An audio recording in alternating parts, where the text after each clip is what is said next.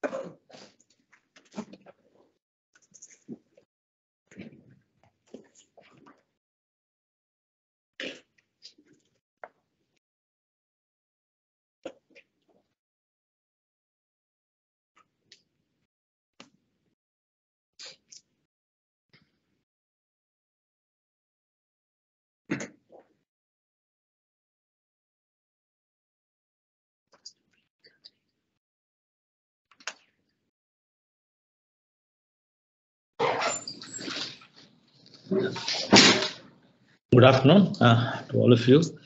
On behalf of uh, Chairman NABARD and uh, all of us in NABARD. Are we audible, audible there? Yes. Hear us? Good. Good. Good. Sure. So on behalf of uh, uh, Chairman NABARD and all of us in NABARD here, we welcome uh, Sri Siraj Hussain Saab, the former Secretary of Agriculture, uh, Madam uh, Shweta Saini. I think you're popular in NABARD because of your uh, many research studies you've undertaken along with also Mr. Ashok Gulati. Yeah. Uh, Sri Ajay Jakhar Saab, uh, and Dr. Pulkit Khatri. Yeah. so I think you, you three are the authors, authors of the book. So without uh, taking much away, I would now request our head office CGM dear, Dr. Satsai, to uh, formally welcome all of all of you, and then also to set the context of uh, this uh, book launch event. Thank you. Respected Chairman, sir, and uh, authors of the book, and uh, Dr. Ajay Vir and other dignitaries present, and our department colleagues and NABARD colleagues here. Um, this is a very important study undertaken uh, under the sponsorship of NABARD uh, on farm loan waivers. As we all know, farm loan waivers have a lot of importance and they're controversial as well as uh, there are different uh, views on that, whether they should be allowed or not. So many debates happen. Uh, so NABARD sponsored this study way back in 2016, 17, and then uh, as part of the research study series, which NABARD has been uh, doing quite for some time. Uh, this is uh, uh, this is actually important. This type of study is important for from policy point of also. So that way, this really I congratulate the authors for bringing out a very good study on a, a topic like this, uh, where they uh, where they have given a very historical perspective and certain interesting facts also they brought out uh, in this report regarding the history, how the loan waivers happened, at what time, on what type of loans they were waived, all those things. And then, uh, more importantly, instead of looking at farm loan waivers per se, they try to contextualize it from the overall agriculture distress from point, point of view. So th- they gave a framework this, uh, of uh, understanding distress and how this indebtedness leads to it. All this uh, entire gamut of things they try to address. Also, they have taken primary a sample of 3,000 farmers from three states, uh, Punjab, Maharashtra, and uh, Uttar Pradesh. Uh, and they try to bring out uh, farmers levels issues also to the fore.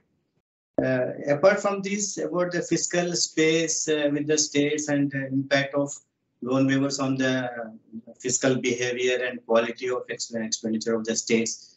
So these are the very macro level issues also they try to address here. And overall, they try to make this study very interesting and in a uh, broader context, they could put it the entire issue of loan waiver. That way, this uh, report, uh, and I don't want to give any uh, findings of it. I leave it to the authors. I don't want to spoil the uh, interest of the listeners here. So with this, I will uh, request our uh, Delhi Organ to proceed with the other proceeding. And I uh, warmly welcome all of you to this event. Thank you very much. Uh, Thank you, sir, uh, for uh, setting the context. Uh, uh, I think in addition to the people here, a lot of people must be participating online. So a big warm welcome to all of them from uh, NABARD.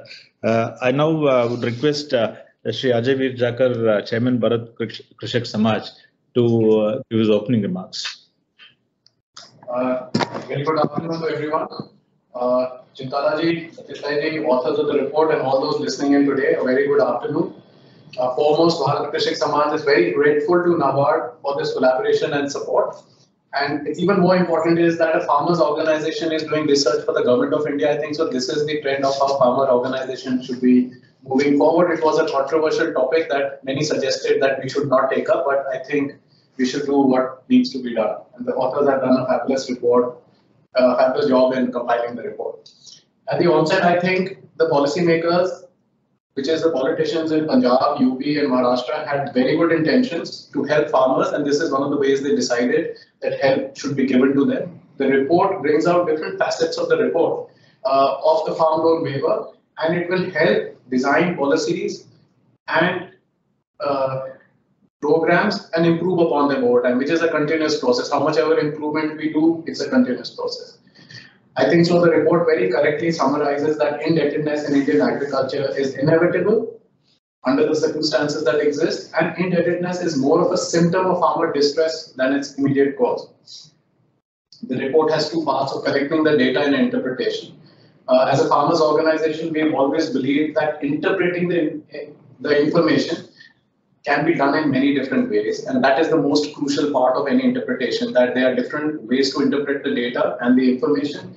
And as a farmers organization, we have our own way of interpreting this report, which does not necessarily agree with everything that the authors have said. And we are very happy, and I think the authors will also validate that there was no influence from the farmers organization on, on trying to influence the results of the report. Uh, I'll just take two more minutes.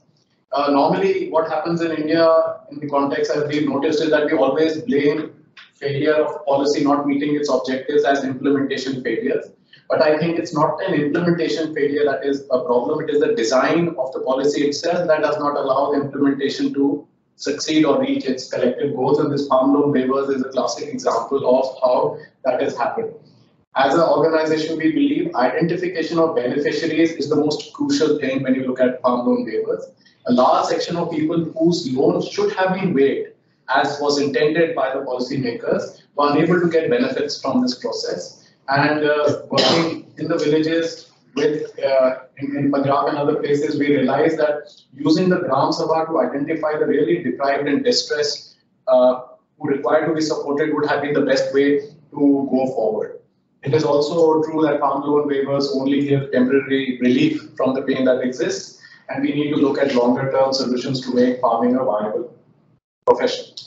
Lastly, we've seen that when allocations happen uh, for farm loan waivers, it's not new resources are not being generated in the state, but they're being diverted. And as the report collective, uh, correctly says that uh, resources for water resources, public works, health, family welfare all suffer. So, and what as a result, what happens is that tenant farmers, landless people, and the really poor, they they suffer more because they have not benefited anyway, but resources that would have been used for their prosperity have been taken away. So we would say that if you would, uh, if states were to plan a plan a report like this, they should be looking at raising more resources rather than diverting resources from social welfare welfare scheme. And uh, lastly, we would say is that. Uh, better ideas come up when people are invited to debate and dissent with academic work. This report allows for creation of that space. Rather than the report itself, I think what is more important is what comes after this report. How states respond to it, how academics respond to it, and how even farmer organizations respond to the report. In the sense, they should be able to realize that when they seek farm loan waivers, they should seek extra resources. They should not seek a diversion to benefit a small section of society. I will leave it at that and leave it at saying that there's a deep moral question here that needs to be answered is how best to improve rural livelihoods and make farming a prosperous profession. And I think, sir, it cannot be done without involving farmer organizations. If the government and the academics and the economists think that they can design policies to benefit rural India without involvement of farmer organizations, we will not be able to reach our objectives, collective objectives. Thank you so much, sir. Thank you for this opportunity and thank you for supporting us.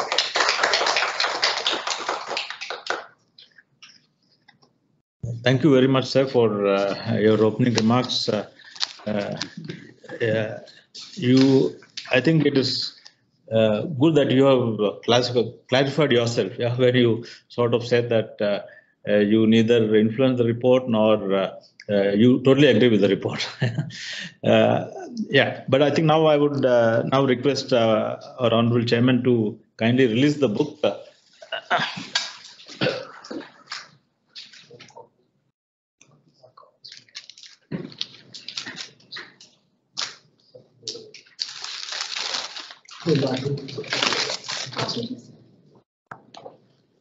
pass it on. We'll pass it on. We'll pass it on.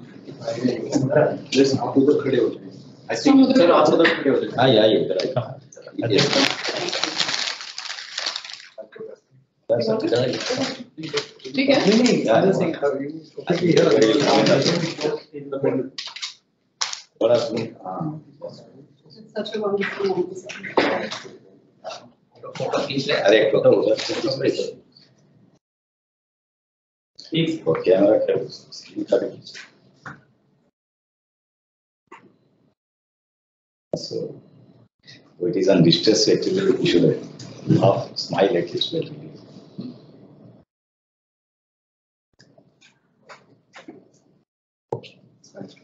Thank you. Thank you, sir. Thank you, sir. Thank you.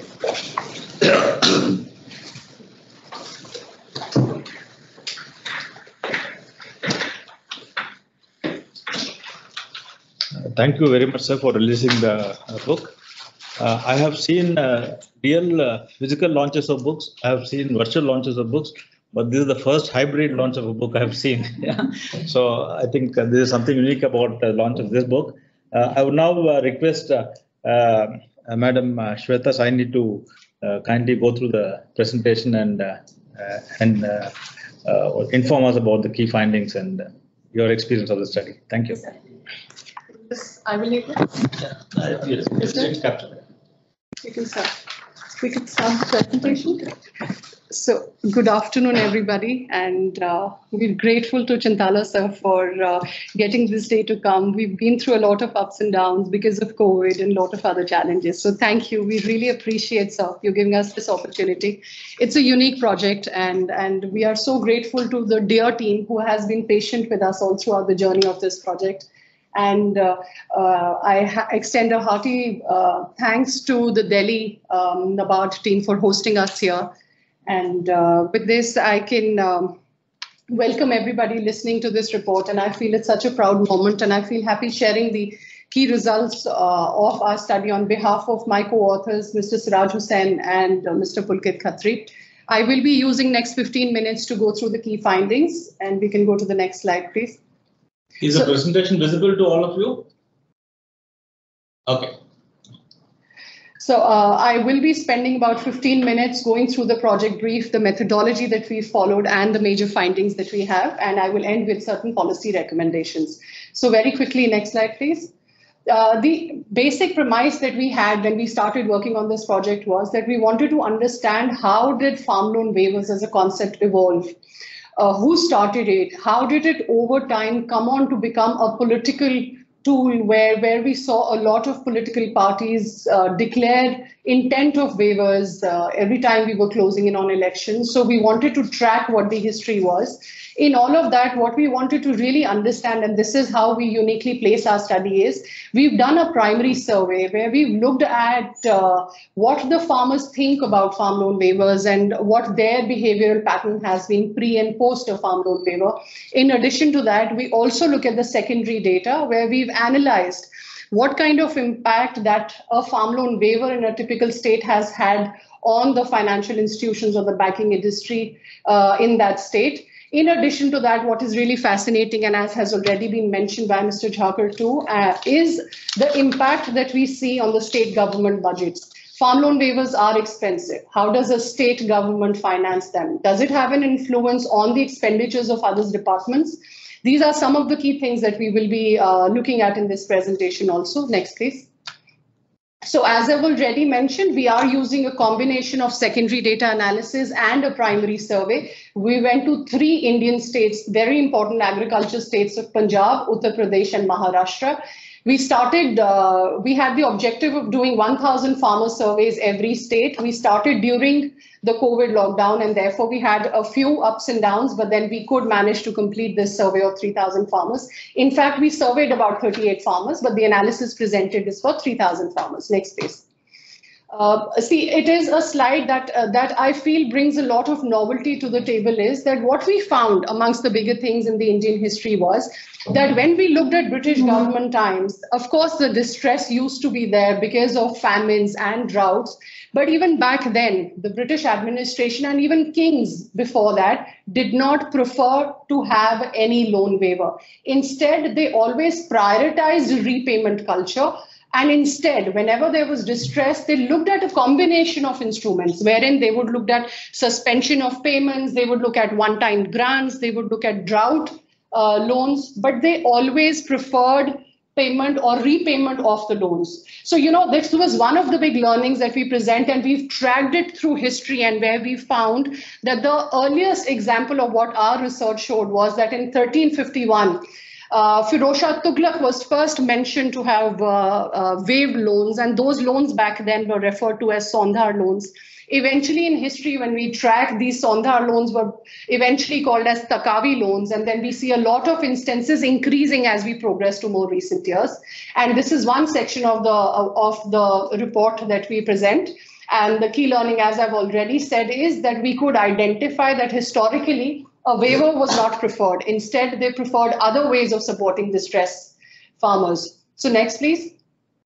So what happened in more recent years? In more recent years, we found that since uh, 2012 particularly, there were in 13 Indian states who had implemented farm loan waivers. Some of them, as we've mentioned, even announced more than one farm loan waiver. If we looked at if these announcing governments did come back after political wins, what we found was of the 21 political parties who'd announced about the implementation intent of farm loan waivers, only four lost elections. Everybody else won the elections. So basically, it was evolving to a point where there was a political buy-in towards farm loan waivers. And uh, next slide, please. So this is critical because we set a context of agriculture credit has been important in India from uh, from the earlier years. Today, the importance of institutional credit is more than 70 more than 70 percent, but still about 28 percent of the loans come from non-institutional sources. Agriculture credit has been expanding in India at a very fast pace but so has been uh, the credit intensity. So agriculture's credit intensity has been rising. In other words, what we are saying is more credit is being utilized to create the same level of agriculture output. Is that a good thing? Is that a bad thing? The report puts it up as a question. But from this context, we move to the next slide where we look at loans. Now, uh, there is this evolving understanding, and uh, this slide becomes important is that farm loan waivers are generally given on crop loans.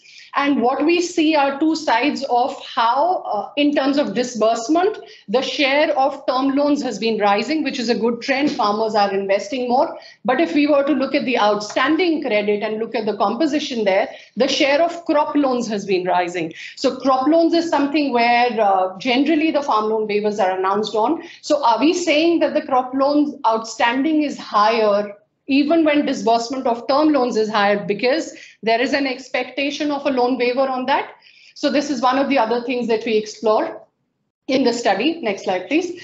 Uh, it is critical that we narrow down the discussion to the three integral states that we've studied, Punjab, Uttar Pradesh, and Maharashtra. Can you go to the next slide? Uh, this slide is a little busy and I pardon that for this, but uh, what we're saying is that we looked at 17's farm loan waiver scheme in all the three states. The bigger thing that we found was one, whenever a farm loan waiver scheme is announced, not everything is given out in the first year, but it's distributed in a phased manner. And that happened in all of these three states. Uh, so what we found was that in case of Punjab, approximately 64%, and that was the bulk of the farm loan waiver benefits were distributed in the subsequent year of 1819. In Maharashtra and UP, the year it was declared, uh, close to 74% in Maharashtra and 83% in UP those were the percentage of benefited benefits distributed in that year. The remaining percentage of the benefits were distributed in the subsequent years. It is important for us to remember this year because in the next slide, when we show you if this had an impact on the budgets of the state, it becomes important because whenever you've distributed the most benefits, we look at what happened in that year for the uh, the budget of the different departments. And we go to the next slide for this. So interestingly, from here on, I will be calling YMD as the year of maximum dispersal. That's the year when most of the benefits were distributed. And this becomes our focal point when we are understanding if state governments shuffled budget between departments to fund this farm loan waivers at all or not. So what we found was that in the YMD year or the year of maximum dispersal, in case of Punjab, budgetary expenditure, fiscal deficit, revenue expenditure, everything rose. In case of Maharashtra, the fiscal deficit, in fact, fell in the year when they actually distributed uh, uh, distributed the farm loan waiver benefits likewise in up now this was intriguing because we would expect that in a year when they are disbursing farm loan waiver benefits the fiscal deficit should ideally go up. It didn't go up and that pushed us to the next slide wherein we looked at if there were departmental shifts between the uh, shifts between the departments. We are not necessarily saying that the shifts happen to finance the farm loan waivers, but this is the shift we observed in the year of YMD. And what we found was, and I can go to the next slide as a summary. Next slide, please. What we found was that in case of Punjab, expenditure for the power department, for water resources department, for public works department, for agriculture research and education went down in the year of YMD. In case of Maharashtra, the budget of housing, environment, home and planning went down amongst other departments in the year when YMD was declared and then uh, was distributed. In case of UP, this was for education, public works, agriculture, research and education. The key insight was that these are the departments which are looking at more capital expenditure, more investment into the state government. And we see that in the year when the most benefits under farm loan waivers were distributed, funds or the departments or these departments suffered a reduced budget. So this helped us to conclude that the quality of expenditure in the year of YMD was lower than it would have been if uh, than it would have been in other years. And so we make a comparison there. So the key take home, as I basically said, is that generally FLW benefits are not distributed in the year they are declared, but in a phased manner. Fiscal deficit fell in Maharashtra and UP, but it increased in Punjab only. Major reallocation, as I've said, and the uh, reduction in capital expenditure is what we've showcased through that budget analysis. And that's the key take home here. Next part of the presentation, we are saying, and this is one of the uh, bigger learnings we started with, and when we read literature was that every time there's a farm loan waiver, there is a disincentive for the financial institutions to lend further. So this is only checking that. And the way we are checking it is we are looking at three variables there. How much did the banks target to disburse? How much did they really disburse? And what kind of performance ratio did that make? So what we are saying is in the three diagrams that that represents the three states is the dotted bars are the years when the YMD happened, when most of the farm loan waivers were distributed. We see that the blue line falls in those dot in that year with the dots. That basically is saying that the performance and performance is nothing but how much of disbursement was from the target it was. So what percentage of the target was actually disbursed? And what we could show was in all the three states, the disbursement fell in the year of YMD. The targets did not, but the actual performance or disbursal of credits by the banks was lower in the years when most farm loan waivers were distributed.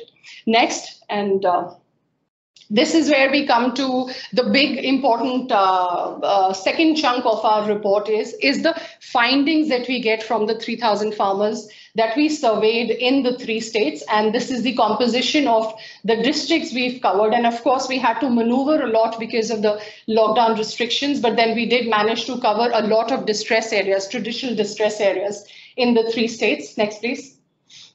So this is a typical profile of the survey respondent that we had. Overall, we covered most of the farmers were the small and the marginal farmers in the in the three states. 51% respondents were in the age of 35, 55. Average household estimates was developed. We also found out the land and what kind of land profile they had, and we found that Punjab had the, and we're not surprised, but Punjab has about 50% respondents who had leased in land. Of course, this is setting the context. Let me just show you the key results. Next, please. So what we found amongst them was, and this is only one of the elements, so we sequentially moved for a typical farmer. First, we wanted to understand where did he borrow from. Second, we wanted to understand what kind of his default pattern, if at all that has happened, has happened. And in the third part, we would ask them, why is it that you default? What happened? What kind of distress causing factors there are? So the first question was, from where did they borrow? In the three states, our survey respondents uh, revealed that in Punjab, we had about, and institution loans, we are not surprised, are the most important source of, of borrowing for farmers in all the three states. What is interesting is that Punjab, uh, uh, we had approximately 31% of people who borrowed from both institutional and non-institutional sources. It is uh, uh heartening to see that uh, uh, from non-institutional sources, the percentages are much lower and they have been reducing over time. Next, please. Now, this is a little technical side, but let me just put it up. And I know Mr. Jakhar is here, so he might have views, and that's how we sometimes uh, do have our own debates. What we found was overall, Punjab farmer borrowed more for the same piece of land at a rate of interest much higher than in the other two states, and also had a higher rate of outstanding loan.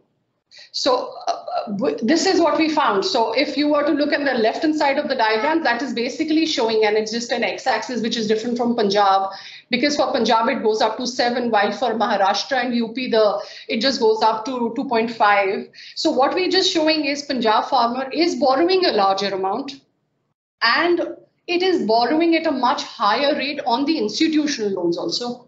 And as as life has it, they have a greater outstanding amounts also. I will have, draw up my learnings in the eventual slides, but we can move on. See, so uh, one of the things that we thought that we might bring it up here was that even though under KCC there is a provision of 10% of diversion and you can use it for other purposes, but what we found in case of uh, these farmers were for KCC loans, in Punjab, the red portion is the extent of diversion. That is where the funds were not being used for the purpose they were taken for. So approximately 45% went away. And in case of uh, uh, UP, of course, it was the lowest. And uh, of course, they had the least access to banking sector also. So that's another uh, aspect that we have highlighted. But overall, at the level, this is how they are looking. So next slide is the key take homes. And this is where I will spend a little more time. Uh, what we found was that uh, and this is what happened. So we looked, we asked a farmer, where did you borrow? We asked him kind of outstanding he had and from which source did he have more outstanding. It was interesting to find that in all three states, farmers preferred to pay back non-institutional first and institutional later. So generally the tendency of outstanding being in institutional was greater in all the three states. So this is the first take home that we found. Second we found was that uh, the rates at which these farmers borrowed in terms of non-institutional, the rate went up to 21%. Be not surprised. These are per annum rates. But in case of institutional loans, and provided we did look at a lot of SMF, still the rate of borrowing for them, effective rate of borrowing for them was from 5.9 to 7.7%. Another thing that we found was very critical for our report was that, and this was the premise we started with, that every time the government announces a farm loan waiver, their presumption is that farmers' biggest distress point is indebtedness. So if he's most distressed by indebtedness, let's just give him a waiver so his distress will go off what we found was that farmers did not rank indebtedness as very high on their distress causing factors. Instead, what caused them more distress was income instability, production instability. So they were more concerned about cattle ruining or the stray cattle ruining their, their crop than they were about default. So, and I will show you eventually how these farmers prioritized. They were wanting to pay back. It is just that their incomes were unstable and the social and the family situations were such that this happened. But I will come to that.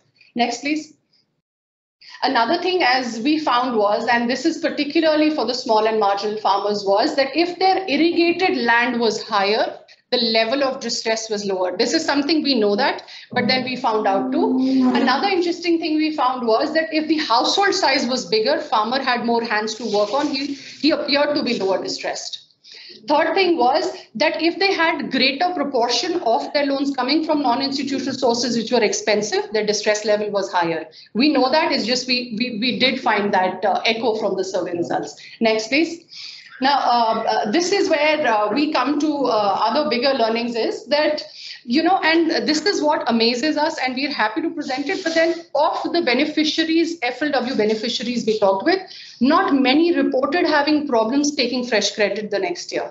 And it was amazing. It's just farmers did not say that we could not access credit the subsequent year of after being a beneficiary the last year. We didn't expect it, but that's something that came out. Uh, there were, uh, so we had asked farmers for the level of distress, found out that approximately 40% of all beneficiary of FLW and non-beneficiary, but 40% of these respondents who were very highly distressed were not benefits or beneficiary of FLW. So that basically showed that we could not target and deliver to the rightly distressed person but rather it was a more more uh, widespread dissemination and therefore we might have uh, we missed about 40% of the highly distressed not being able to get the benefit. Another thing we found was that most farmers felt that access to non-institutional credit was critical. They did not want it to be substituted and they thought that the ease of getting the credit and the human character to the non-institutional uh, uh, borrowing was important for them.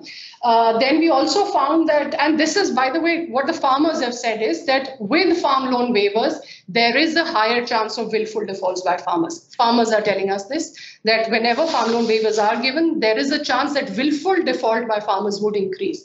And we have about 68 to 80% of the respondents agree to that.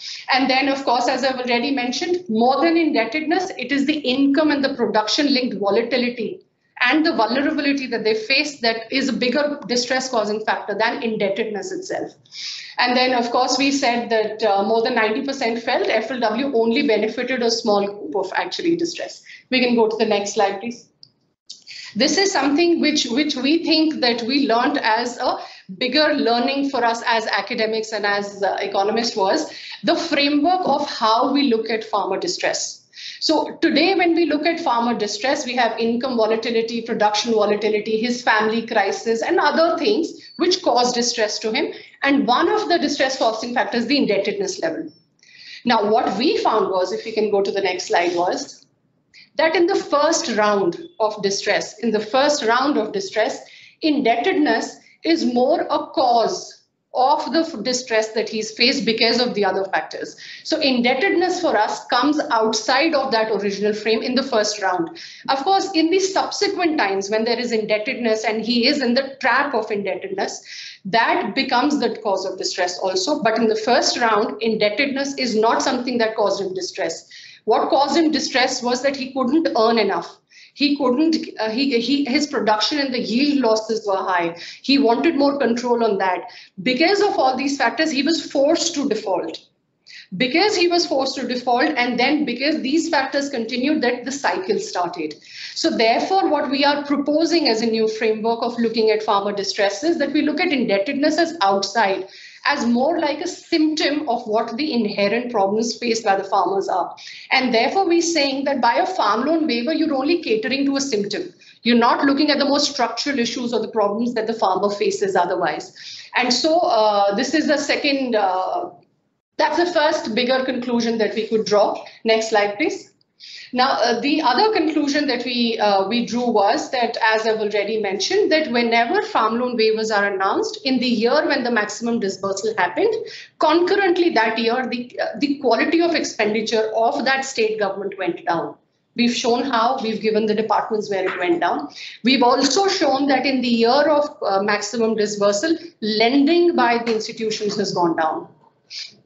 Then what we've shown is via the farmer survey results that the credit discipline and the honesty to revert, honesty to payback also suffers. The credit culture also suffers because of farm loan waivers in the year.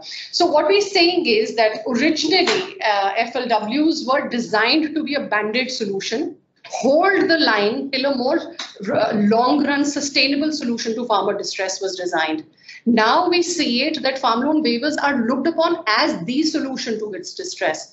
So therefore, it was always supposed to be a band-aid solution, and we need to come back to a point where we are able to probably have a more sustainable, longer-run solution to the farmers' distress. And that's what it is. And again, I've been very quick in presenting, but then it is all detailed in the book. And next slide, please.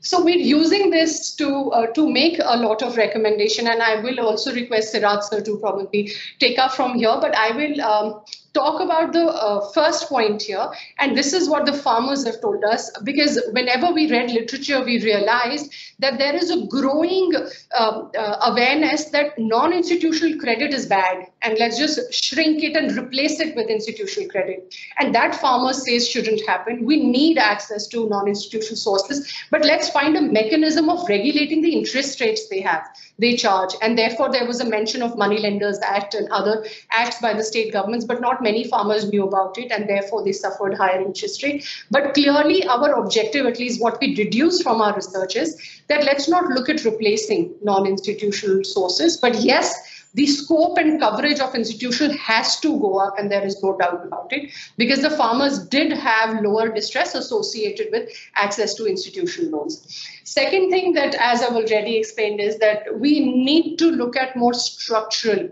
uh, solutions to the problems because farm loan waivers, as it appears, does not seem to offer anything positive except for the small term relief to a farmer who in just medium to long term comes back to the same situation of requiring another round of waiver.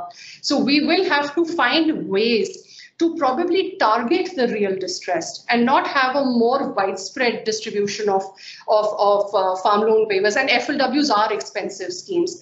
Therefore, we need to find a mechanism to be able to target, if not at the farmer level, at least at the district level of where the distress is going. And uh, I can always have Siraj sir take over from here, please. Thank you, Shweta. Thank you, uh, Mr. Chairman and uh, Mr. Satyasai in Mumbai for sponsoring this report. There are several learnings um, during the course of the study which enriched the team.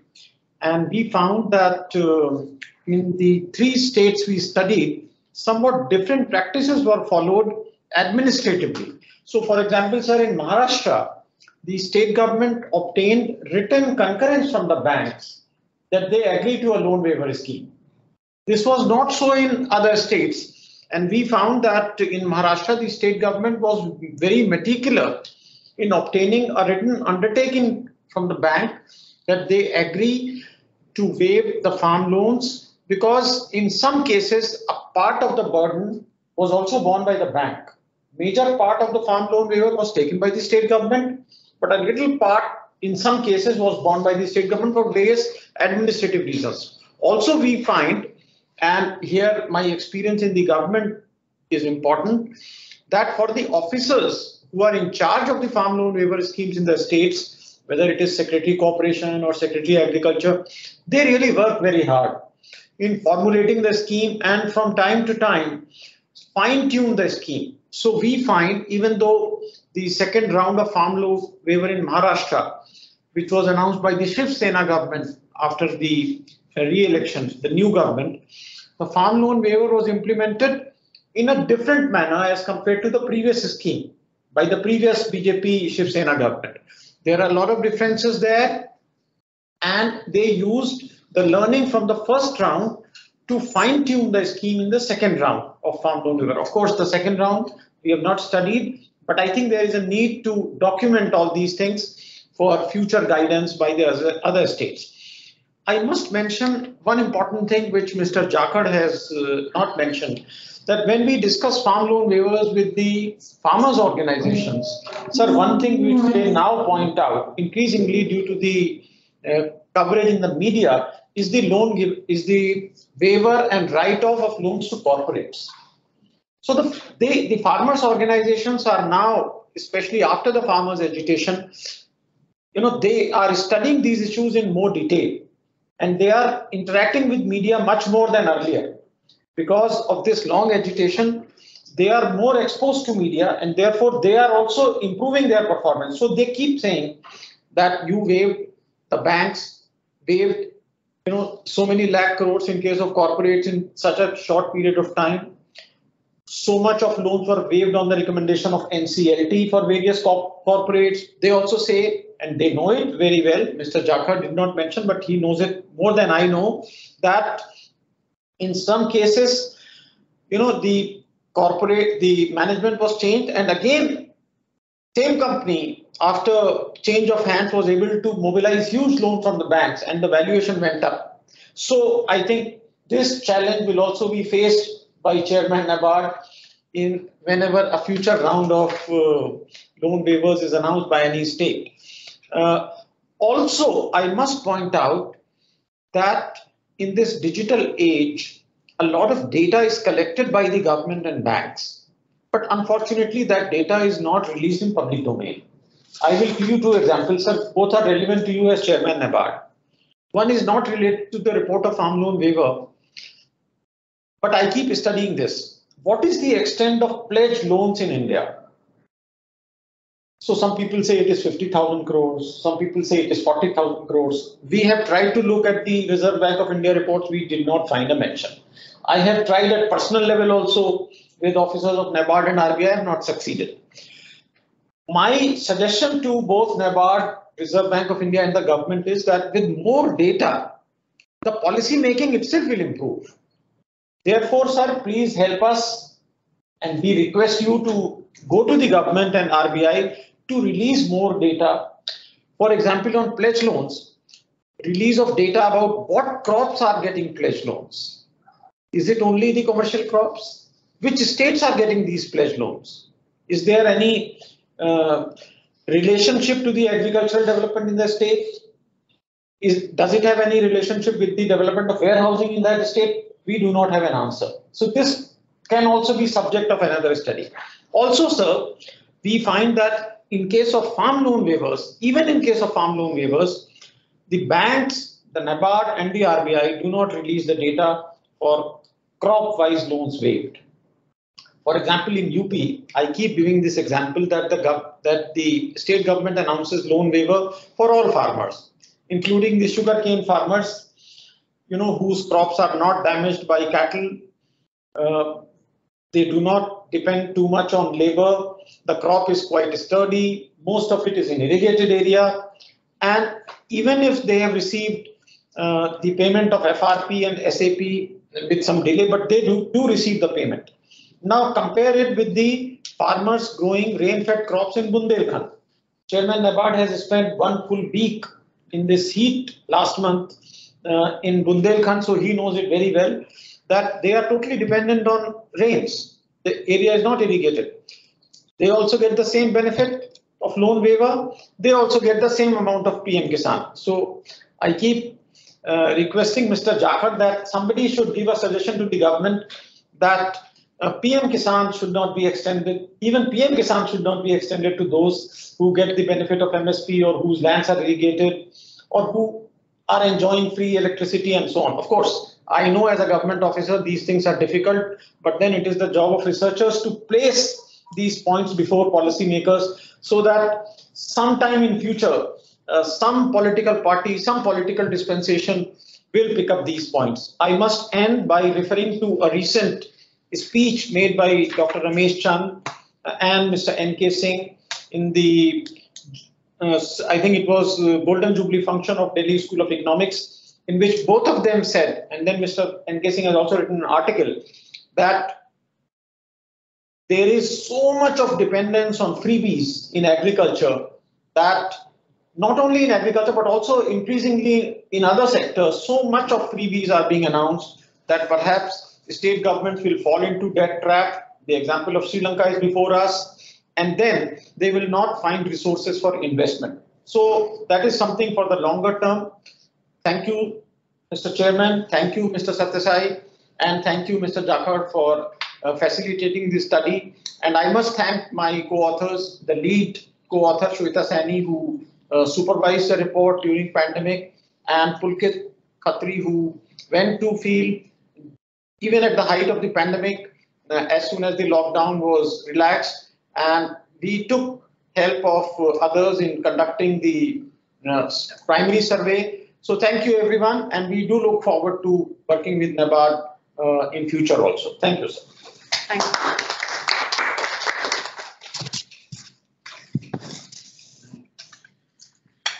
I think, uh, thank you, I think, uh, both of you for the very passionate uh, uh, presentation into your uh, findings and, yeah. You want to say this? Yeah, okay. So, uh, sir, um, when uh, Raghuram Rajanji was uh, governor for the RBI, uh, he invited us for a conversation and thereafter we had a joint meeting of agriculture credit with him. And in that meeting, he sat with us for two and a half hours and we took around 10 presenters to talk on, on agriculture credit. And we took uh, from a primary agriculture society के secretary से लेके we took uh, to uh, finance companies, exporters, Sabji Mandi Aarti Association president, we took the whole, whole stream with us. And one of the suggestions that came out of that meeting was that we should have a forensic audit of banks which they define as farm credit. So a lot of farm credit that is coming in, and he has at times said that banks are in a very bad state. Please don't bring up this topic for the next few years. So I think uh, now it is time for us to think that because a forensic audit cannot be ordered on them because they have to ask for it. So this is one of the things that we keep getting blamed, farmers keep getting blamed that farm credit is going off, it's siphoned off to other things. I think an audit is required of where the farm credit is being given and for what purpose, because I think a lot of it is being categorized as farm credit and it is not actually credit to farmers, to real farmers. Thank you so much, and sir, thank you so much for this opportunity and for the support to be here. Thank you so much. So, uh, thank you very much. I would now uh, request uh, our chairman, sir, Dr. Chintala, to give his keynote address. Okay, I think it must be, are you able to see it? This is not. Hello?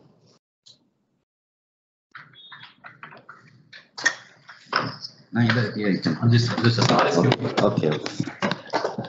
Hello, good evening to all, and uh, it's a very energizing kind of a discussion really that had uh, followed after the launch of this good book that has come a long time. Uh, first of all, I must be thankful to uh, Siraj Hussainji, Shweta Sainiji, and Pulkit for putting so much of an effort into going into the details of this kind of a very controversial subject.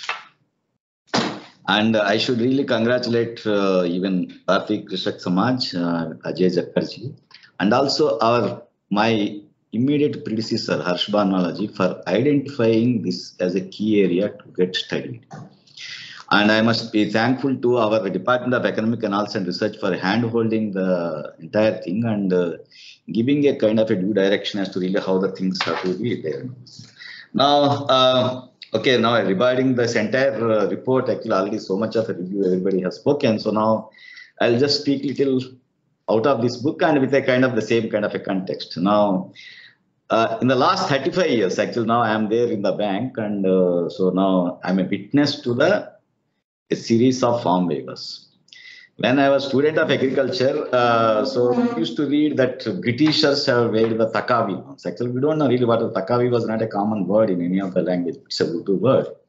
And today, actually, I have found in this one, Takavi was to keep the people in same good state. I think, you know, the government has given a kind of a support kind of a system. So, and I was not, uh, maybe I don't know whether I was alive or not. I was not there during the Muhammad bin Tughlaq's time when uh, first time he has announced this kind of a farm waiver. But if I really look into it, actually, every time actually you read about the Muhammad bin Tughlaq, people say that actually he got a, such kind of a foresight, which is just little, uh, maybe it's sometimes ahead of the things which is supposed to happen. Probably now, otherwise, actually, this kind of a distress probably might have been there earlier also. And also that I was very, uh, maybe it was uh, maybe very enriching to learn that even during, I'm not saying the Vedic times, at least ever since that things were being recorded, like Kautilya times and others, the interest being charged were maybe 15%, 24%, 240%. Now I really wonder that time when the mon- money circulation was so low, and somebody paying 240% means I don't know really what exact kind of a profits they used to extract in case if they are making the money. Now, these are all some things uh, first thing is somebody had tracked all these things. So now it was very nice. Though actually there was some mention somewhere I was reading. Even during the Ramayana times, actually there was a farm credit and Bhagavan Ram had ordered that they should charge a very nominal rate of interest. We don't know how far that is true, but thing is probably it is all anecdotal. Now the next part is that uh, uh, when I joined the bank, actually uh, after four years, first time this farm waiver has come. When Devilalji was the DPM, and they announced, and everybody was wonderstruck because I think it's like the present day pandemic. I think all the people living that time had never seen what was a kind of a waiver, and first time the waiver has come.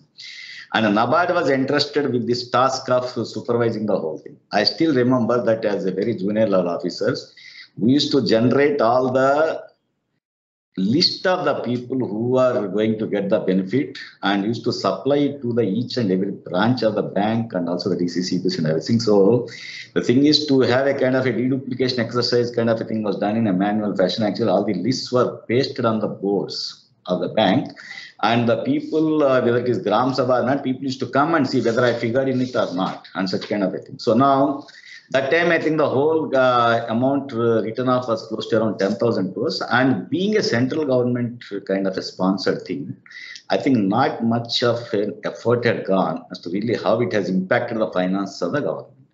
And anyhow, that actually there was no correlation. But thing is, after the waiver, India has gone to a very bad state and they had to pledge the gold loan also. So now I don't know whether it was a a kind of a collateral damage that had happened because of this 10,000, 15,000 crores taken off from the coffers. But we just can't make it a kind of a thing unless the researchers again go into this, really how the things are. And the second loan waiver in 2008, uh, actually when it was there, already we were sufficiently matured to see really how the things were there. And that time actually they announced that the computation part was given to NABARD as to really how much will be the loan. And actually we computed that it will be around 72,000 crores based on the kind of outstandings and all those things. And so now out of the 72,000 crores, close to around 60 or 65,000 crores were disbursed. And uh, again, uh, the same kind of a thing. Nobody had gone into the entire scenario, whether it had impacted the coffers. But again, very surprisingly, actually, sometimes actually the one event follows the other. The moment that particular farm waiver was given, money was disbursed. The Great Depression in the century had happened in 2008-9, and uh, actually this was washed off under the carpet. Actually, that nobody had really seen really whether the government finance have taken a beating or not. But the whole of the world is under distress, and this also has gone into this. But subsequent waivers, actually now actually the way you have studied, they are all the state, that is individual state sponsored kind of a form of waivers. And it has become a kind of a, uh, a tool for as a political experience. Everybody tries to do. People in opposition will say that not only waive, but we will give even something more freebies because anyhow they are not going to come to power. In case if they come to power, we don't know really how they are going to honor it.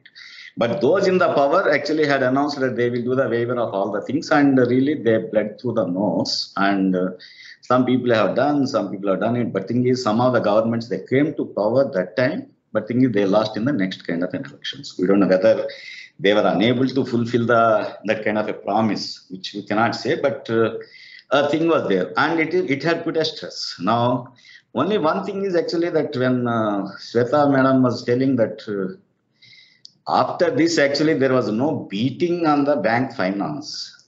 Actually, some in this conclusion, some I just uh, disagree because now, as uh, NABARD, actually, we look into the whole of the data. Whenever there was a kind of a farm loan waiver, next year that particular state has got a very low level of a credit penetration. Because now why? Because many of my classmates were there in the commercial banks and they used to tell the moment somebody opts for this uh, credit waiver, the loan waiver, the banker feels that actually this fellow is an intentional kind of a defaulter or willful defaulter. So now let us not do it and then give a cooling period. So that's why this thing. Now actually that I had seen in Maharashtra, where actually substantial amounts used to flow from the cooperative system and also others. And NABARD used to give so much of a money to them. Actually, the last two, three years, actually, it was very low kind of a thing.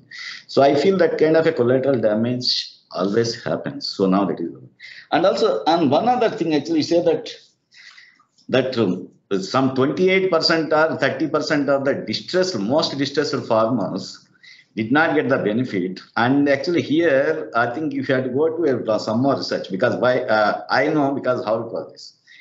This is a very common, actually there are so many court cases actually which we used to fight. Actually now they say that somebody said that everybody in my neighborhood has got the waiver, but things I didn't get. Why? Because this fellow was already a defaulter before the waiver was announced.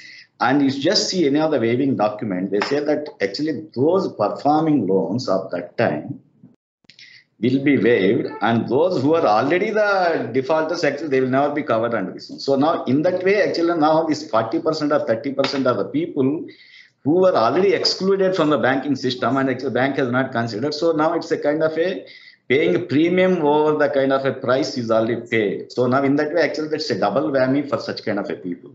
And the other one is that that uniformity. Now actually that now we paint the whole thing with the same brush uh, and being a democratic country actually now actually now actually we have to look into the policy implications out of this.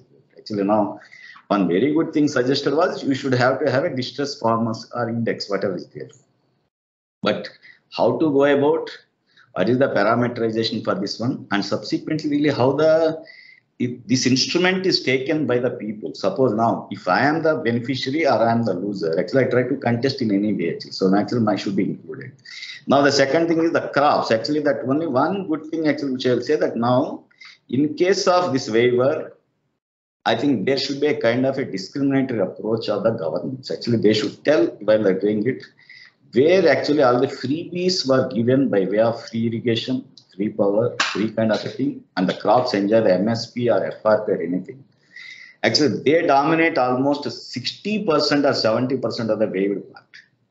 You just take the case of Punjab, Haryana, Western Uttar Pradesh, Maharashtra, Andhra Pradesh, or for that matter, Karnataka, wherever it is there, sugarcane, rice, wheat, where almost 100% certainty of procurement by state is there and actually come what may whether it is uh, rain or maybe the irrigated or maybe the crop is of this kind of a thing actually they are going to have certain amount. Now particularly take the case of sugar cane.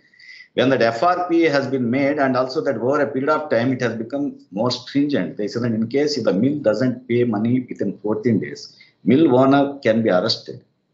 And which is not there in other crops. Now actually some mills owners were arrested also. And in some places actually the mills permissions were threatened to be revoked. So when these things are happening, the mill owners are paying the money. Maybe there may be a little bit of a delay, but otherwise nothing. So that's why, and also if you really collaborate, uh, maybe corroborate the data that is available, the sugar cane is the most certain crop in the country today.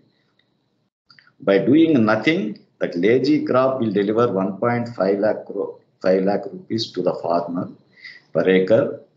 Just when he has to sow it, he has to just observe it. And there is nothing to do, no cultural operations, nothing, irrigation free, sunshine free, and crop growth is free, and only his job is only to just collect the entire benefit out of it. And now, if you look into it, again, one more thing actually, when Saini Madam was telling that uh, crop, or maybe Jakarsa was telling that really crop kind of a data was never there. But actually in 2000, I think uh, 98, 99, actually after this one, actually out of curiosity, some kind of an exercise was done by us in Andhra Pradesh. And uh, it was to our dismay we found, even in the places where actually there cannot be a cultivation of banana or sugarcane, most of the crop record says that actually they cultivate banana and sugarcane because they get the maximum credit limit for these crops. When the rice gets 5,000, sugarcane and banana gets 20,000. So now actually to get that kind of like, you know, cooperative bank as IMBP or maybe the commercial banks. So now, even if we attempt, I don't know really how it is. Now, only actually you know, one solution, because now I have seen in Andhra Pradesh today, they have a kind of a e-crop data. Actually, what they have done is every farmer before sowing has to register on e-crop which crop he is sowing and to what extent and the procurement is limited only to that fellow who has registered And also the normative yields calculated by the state and the procurement is done only to that extent. Otherwise, generally, I had seen whether it is Punjab, Haryana or any other thing, actually sugarcane coming from some other Bihar also comes into West, Western Uttar Pradesh because somebody is paying 3000 rupees. Likewise, the same. Now the similar kind of thing happens in. So now this model of e-crop which they have done, if it is put across the country, I think uh, we will be having such kind of a thing. And second thing is now, if you have to have a kind of a differentiated kind of a loan waivers, then we should have this kind of a database. And this, I think you can uh, take them and suppose the next study, if you do next one, you can study such kind of a system that is there and uh, the distress index can be made on that kind of a thing. So now, if already some states, because they are now in Andhra Pradesh, all maybe 70 lakh hectares is there on the e-crop and everybody has to register. Otherwise, actually, he will lose that kind of a benefit of procurement. So when these things happen, I think now uh, we will be having, so we are over a period of time, I think moving towards the ever goal of giving a kind of a discriminatory farm loan waiver rather than a broadband farm loan. And which is the requirement of the thing. Suppose now actually that I don't know Tughlaq time really how he has done, whether it was uh, maybe for the people who are needy or for the everyone. By case. But thing is actually now if you're because while going through the report, I was looking into it. Actually, it was and they were not giving the waiver; they were giving the incentivization because the fellow should stand firm in the on the trees for the one or two years to withstand that kind of a stress and come back to the farming. So now the similar kind of a thing actually now is the requirement. So definitely. Uh, we require a lot of policy implications. And moreover, though it is politically expedient for the parties to announce, but thing is the same parties are now having all the problems with the finances. Now actually that last two pandemic now, if you see that last two years, it was a kind of a stress the state governments are undergoing. And I don't know that in case, like a one state actually, which we studied Punjab, already it was in the deep throes of the debt, and debt and uh, at individual level, at the state level, the finances are so stressed. And this government also has announced a kind of a waivers of so many things. No, they will waive this and all. I don't know where from the resources are brought. And if that is the case, ultimately, it is, I think, that transferring the public deposit money to the private coffers uh, without having a much of a benefit. Though actually, as a farm, um, maybe the ecosystem building organization NABARD. We are partial to the farmers' cause, but thing is, can we really afford this one on a long term? This really we have to look into it. I think the next time when you study, I think you can broad base even on the other states. Now, actually, there are so many states are giving freebies. Farm, non-farm, and all those things. Now, actually, somebody was asking me really whether the freebies are to be given. And I say that now, when somebody is giving a kind of a PLI, prudential incentive, and somebody is being given some kind of a thing, incentives and maybe interest concessions, the why the poor farmer also should not be given. Actually, this is in case if I am partial to the farmers. But thing is, really how? Actually, that now again, like now I really take this is the argument which whenever we speak, the way the Jakhar Saab was telling that the moment somebody tries to argue that farmers should not be given, now actually the news is so democratic everything happens and everybody um, quotes only those two fugitives right now living outside the country who had amassed maybe close to around 12 or 14,000 crores. Say that if those people have run away with 14,000 crores, why these poor farmers may be having 3,000? Actually, now today, I think some time back I was reading a newspaper. Actually, somebody has gone to the court. This farmer has defaulted only 3,000 rupees. Why actually he has been arrested? And others with the 15,000 crores could not be arrested. Actually now, actually now this kind of a comparison because earlier in the good olden days when actually there was absolutely no news. Actually people used to believe whatever has been told after some time, but today actually news is in a jiffy and everybody knows about it. So now this waiver is the thing. So now uh, going through because actually I, last night I was going through the report. It was a very fascinating reading. Actually now I can say after a long time, I read a report fully in a, in a span of around four hours. And it was so fascinating to read because tracking the history and going to kind of a way forward. Actually, now way forward is actually it's purely our own opinion, but at the same time, I think it has to be further probed into this one. Really, maybe making the index creating such kind of because today actually that information systems algorithms or AI and ML is so cheap. I think now we should put the whole thing into this kind of a thing and see really which farmer is doing what. And uh, here I will quote an example because uh, we were we finance maybe some of the NBFCs, one of the NBFCs which is into big way into the truck financing. They say that their uh, NPA level is hardly anything. Why? Because at the time of financing the truck, actually they have a kind of a tie-up with the uh, company which is supplying the truck. They put an RFID chip in the truck. So now, the moment the driver takes the truck anywhere and trying to do the road work, falan work and all those things, actually entire log is created in the system somewhere. So at the end of the month, when the EMI comes, the drivers cannot say that I have not done any work in the month because already the log book is there. So now, such similar kind of things can we really create for the whole of the thing? Because we have close to around 14 million farm holdings. And uh, really who is going to create that kind of a thing? Actually in case if that comes i think no, it's very very easy to give this kind of a a kind of a stratified kind of a farm loan waivers. And also to some maybe to a great extent to some to some extent. Somebody in bundelkhand who lost the crop 100% actually he should be compensated 100% while somebody in the irrigated area who lost only 5% actually he should be given the only the proportionate pro rata kind of a compensation. Actually then only i think uh, we are going to do this one. And then uh, because now i will come to the banking system. Because with all the things the collateral damage happens to the banks. Every time the waiver happens the next year the banks will have a stress. Banks uh, will have no actually you are telling no because now uh, one more thing actually the distortion with the kind of the curves which you are given is that the term loans are going up these term loans are nothing but the loans converted and so the term loans may be going up. It is not exactly that agriculture term loans going to the farm machine. The crop loan converted for a period of two or three years as a kind of thing is reckoned as the term loan and they put it. So now actually that is so now actually the, we should take a little bit of a some more research also into this one. So now uh, being uh, maybe into this kind of a system, actually I find that now the time has come. Actually, the state governments and also every government, actually state or union government, it is immaterial there should be a kind of a policy prescriptions have to be given to them. Next time, if you are going to the waiver, really what is going to be the implications? Because now second thing is, if you are just trying to relieve the stress of the distressed farmer by maybe diverting 50,000 crores, actually for a state 50,000 crores is a very huge amount, then you are giving stress to the rest of the populace by denying them that common included medical facilities or something. So now these things have to be brought to the notice of the policymakers.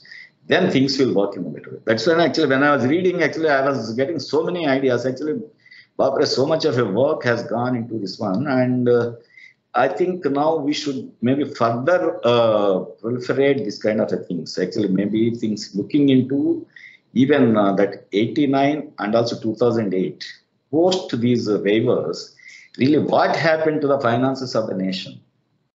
and really what were the implications of that? And that time really how the banks have faced the trouble. The records are always available. So now if that is the case actually then we will give the entire in the living memory the waivers. Two are the mother of all waivers and the three are the chota chota waivers. So now remaining 17 so now if that is the case those two mother waivers also if you look into it.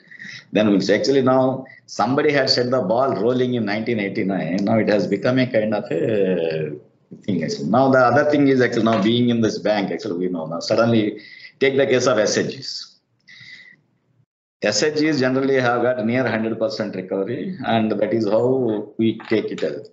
Otherwise at least 95% is the normal recovery but we have seen in few states where the farm loan waiver was announced in a particular year, the NPA level of SHGs has gone to 25% because they also feel that agar isko diya to humko bhi dena hai. And the other argument which they give is that now you are giving to the farm loan waiver to the farmer who is the rightful land owner. Again, actually there are so many tenant farmers. Actually the JLGs and the SHG members, they do quite a lot of a farm loan. But thing is, actually, they are not reckoned as the farmers. So in that process, actually, they say that actually we are also doing the farming. We were also impacted by the same kind of environment and the weather. If that is the case, why actually we are denied? Actually, now this issue also I think now it will uh, stress because while uh, maybe taking to the governments, actually when this report is being taken to the governments, actually we should really look into these things. Actually, we should try bring home these kinds of uh, things to the thing. If you are trying to give a maybe correct a pain point at one level, then probably it may pain at the other point. Actually, not really how the things are because entire society may get a kind of a vitiated kind of a thing if you are doing. But at the same time, if we have to keep the farming in its right state, there should be kind of a palliative measures. So if you consider this FLW as a kind of a palliative with a kind of a course correction over a period of time, then things will work. Okay, now we'll say that, okay, now this this particular year we are going to waive, but thing is you have to pay it over a period of time. Maybe put it in 10 years. Actually, then in that process, uh, probably the people will not have a kind of a great expectation that every time I get the freebies. But otherwise, in case if you say that a blanket, those who are eligible and the performing kind of a people this year, you say, no, actually the distortions. Actually, in some uh, some states, the circular was those who are defaulters will not get the benefit.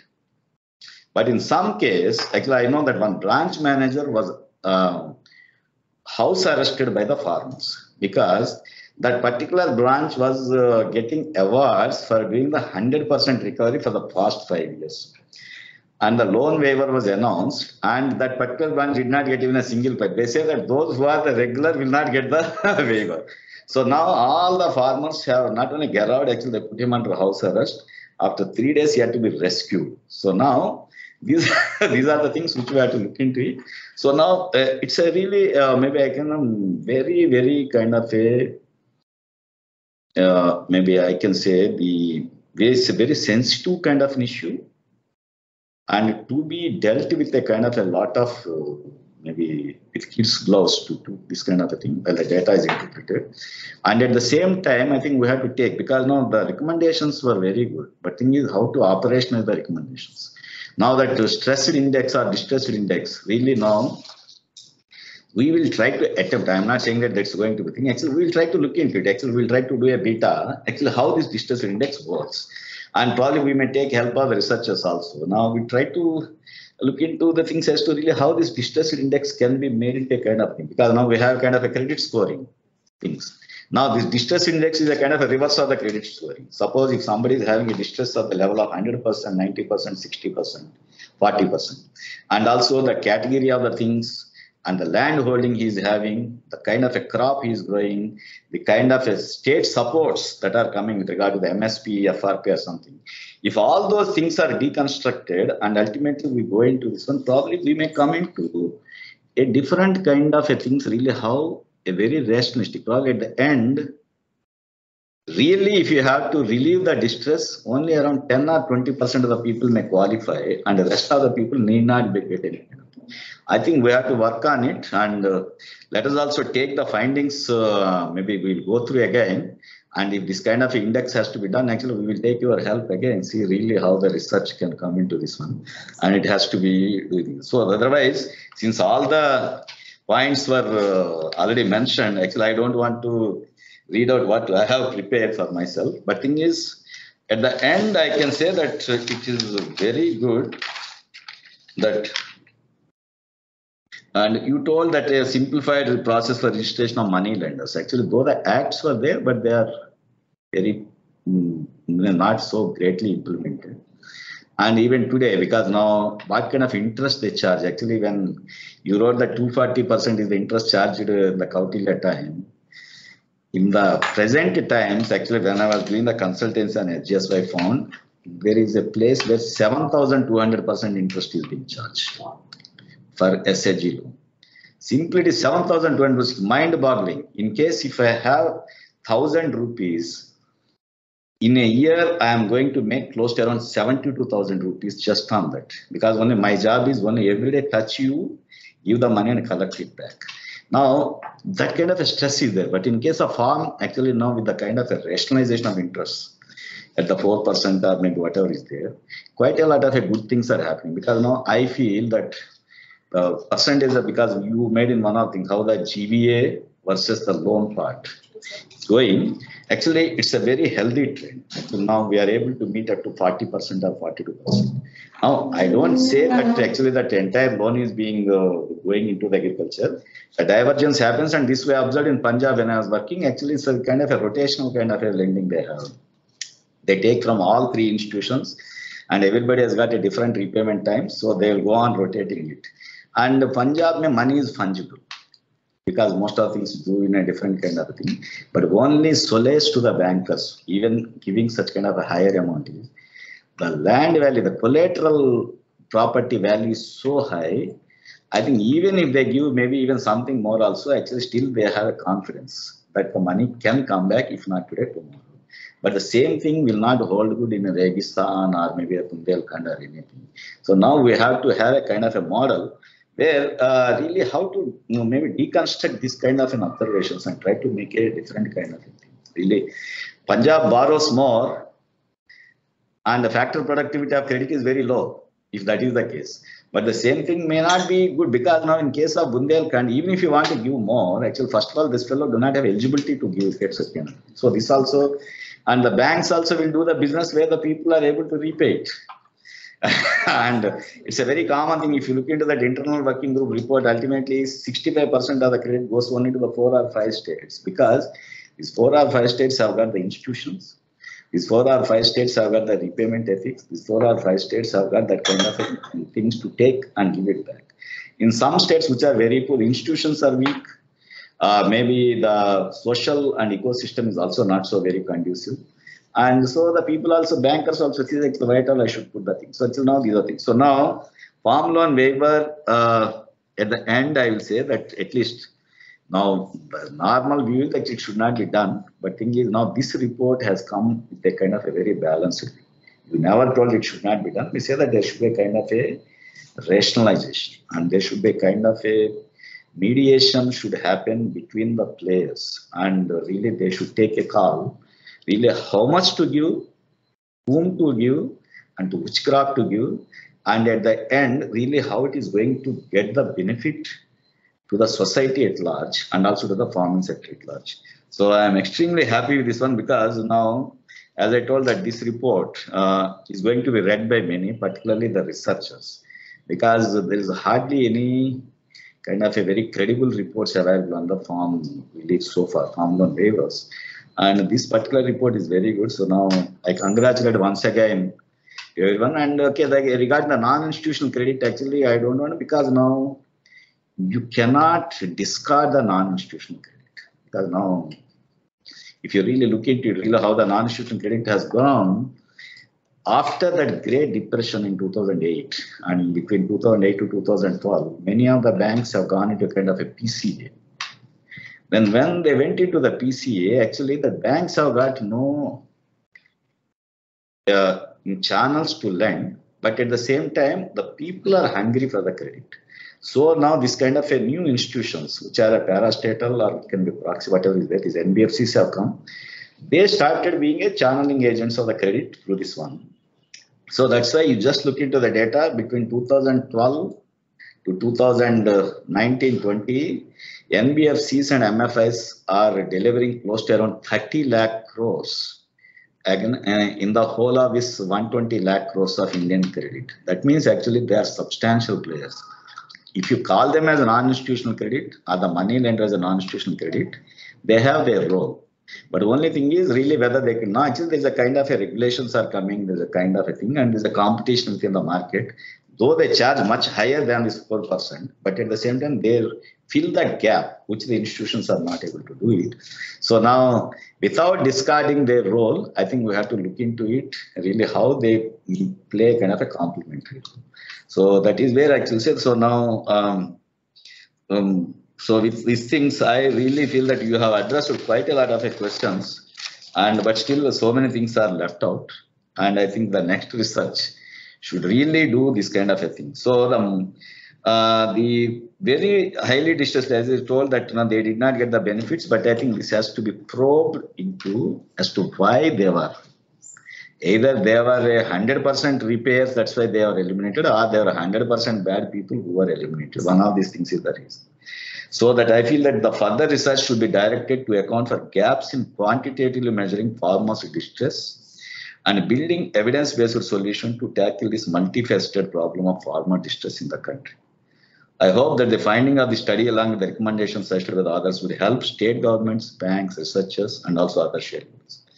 I appreciate the others for conducting the study and come out with a very balanced review. Actually, now generally all the reports will be either this way or that way, like any other kind of a TV reports, but it's not. Actually, it's going to be a very big kind of a balanced review, and it is insightful. So now we wish that the people read it, people digest it, and the people who are in the policy making, whether they're the bureaucrats or the anybody who is advising, they should really come out with a kind of a, a different kind of a formula for extending the formula. And I am definitely of the view 2020 is not the end of formula waiver, and they will be there forever because of the as the time goes by, every party has got its own kind of a thing. So now, without uh, maybe taking a kind of a very glorified view actually that there will be no waivers in future the waivers should be a kind of a rationalized kind of thing. so that is where i think we have to work on it so i congratulate once again authors Siraj Hussain ji, then Shweta Saini ji, Pulkit, and also Jakharji for really giving a quite a lot of a new insight into this kind of a thing. And I'm very happy that NABARD is uh, not only the funder and also the publisher, and uh, we take pride in this kind of reports. Thank you. Thank you.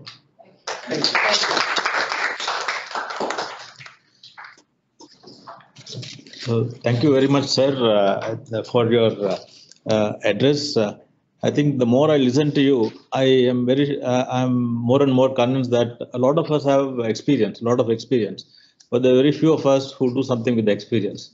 Uh, to get insights, to get, uh, uh, you know, uh, deep insights sometimes, which only empirical research can give you, but it's time consuming. yeah.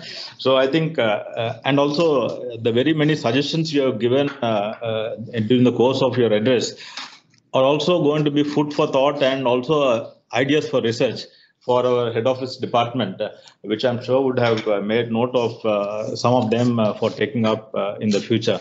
Uh, I also thank uh, the others, uh, Madam uh, Saini, uh, Mr. Siraj Hussain, and uh, Dr. Pulkit uh, Khatri. I think so. So I'm uh, I'm sure you're the one who must have done the most amount of legwork. legwork, uh, and I'm quite. I also uh, gleaned through the report. Uh, I was quite happy to see the references to history and uh, references to global experiences, and uh, by far uh, the 60-page questionnaire which you have. I'm very sure that uh, there is more data to be mined, uh, information to be mined from this, uh, you know, this questionnaire you collected than what has come in the small report. So I'm very sure uh, uh, that will be very useful to our head office uh, uh, for more, uh, you know, getting more insights into uh, uh, into this topic. Uh, I also thank uh, uh, uh, you and your organization, sir, for uh, Bharat Krishak Samaj for uh, taking up the study on uh, uh, uh, on behalf of NABARD and uh, uh, and coming up with uh, such a, a good uh, uh, uh, good report. Uh, I would uh, thank head office uh, for you know thinking of uh, this topic, you know, of uh, head office and the management, head office DR and management, to think of uh, this topic and boldly go into this topic because this is a topic which is not, you know, a run-of-the-mill topic. It's a topic which is not touched by many people. And when I say this, I'm also reminded of the 2008 waiver which uh, Chairman Saab had referred. Uh, after the 2008 waiver, uh, we were having uh, some discussions with German development institutions. See, loan waivers are not a good word in development finance. so when we were having these discussions, we were sort of uh, confronted and questioned by the German, uh, you know, the economists, saying that this is a very bad thing for the country and uh, it's going to put the whole institution system much behind and other things. Uh, then our, our then chairman, he said that uh, uh, he just came out of it in a very smart manner. He said that, see, this loan waiver has brought back about uh, two crores of farmers who went out of the institutional credit system. Yeah. So it's a very smart way of dealing with that question. So, uh, and that's also true. That's also true, and it's also confirmed by. We did it. Actually, every five years, all the people who are out of the credit net again. Yes. Wants to follow up. So, and uh, it's also, I think, uh, reinforced by, uh, in your, in one of your slides, you said that uh, you were surprised that the next year uh, the banks did give credit to them. so that was uh, uh, thing. And uh, I also thank all the online participants uh, who I'm sure uh, would have uh, enjoyed uh, uh, this uh, pre- presentation and um, it was useful to them. Last but not the least, I thank um, our team in head office, sorry, in, in the regional office Delhi, led by Pawaji to have, you know, made some good, such good arrangements for all of us uh, uh, uh, to have this book launch event in, in a very successful manner. I once again thank the head office. Sir, you have anything else? Yeah. Yeah. So I I take the opportunity to the Ajay. And especially Auto for successfully helping us to successfully launching this book event uh, in a hybrid mode, uh, I think without my, any hiccups. And I really thank all of you, especially Chairman sir for uh, excellent uh, keynote address, that which has really thrown many issues for future research. So thank you, sir. Thank you, all of you.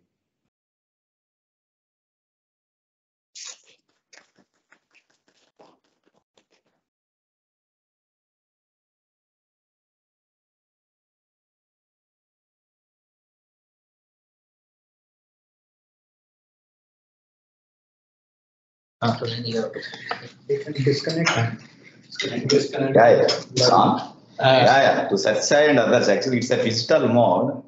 So we are having the physical snacks and we have digital snacks. There there should be some telephone. Okay, bye. Thank you. Bye-bye. Okay, thank you, sir. Thank you very much. I think we'll log off, sir, with your permission.